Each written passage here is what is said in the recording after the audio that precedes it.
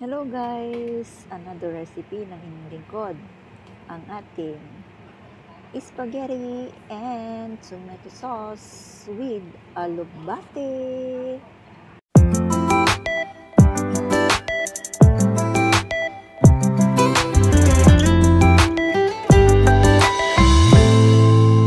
Or spinach.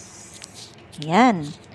So, alam niyo ba yung alugbate ito ay medyo madulas-dulas?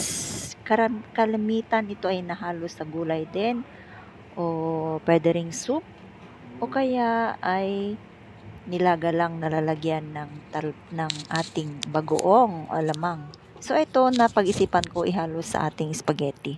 So ayan, i-try po natin. Luto na siya. Ang ating alugbati sa ating spaghetti in tomato sauce. So, ayan. Tikman natin, guys. Luto na siya. Ready na. Charan! Ito na po ang aking tanghalian. Sa mga katulad kong vegetable lovers, talchak na magugustuhan po ninyo ito, guys. Subukan nyo para mabago ang inyong panlasa o kayang lasa ng ating mga kinakain. So, ito. Luto na siya. Let's try. Kain tayo guys. Mm. Wow, eto na siya.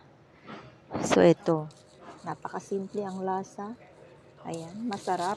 Subukan niyo po ni guys ang panibagong lasa o recipe ng ating alugbate in spaghetti tomato sauce.